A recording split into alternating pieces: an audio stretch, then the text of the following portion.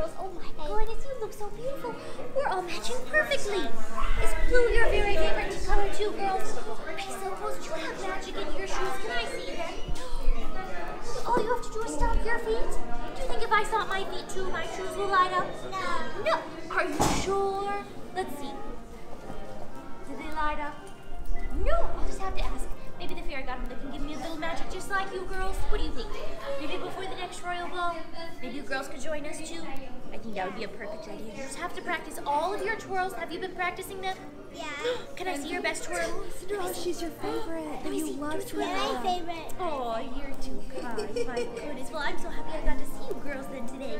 Have you been practicing lots of twirls too? Yes. You know, Jack and Gus, sometimes they twirl so much at royal balls they get very dizzy and they fall over. Does that happen to you too sometimes? Nice and close. Don't you think we could take a portrait together?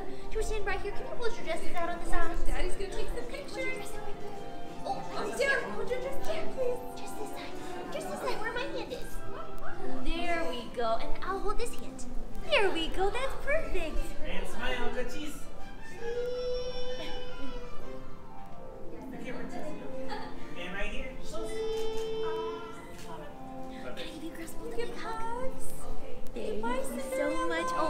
You, tiny princess. I'll see you girls very soon. Keep practicing all those twirls.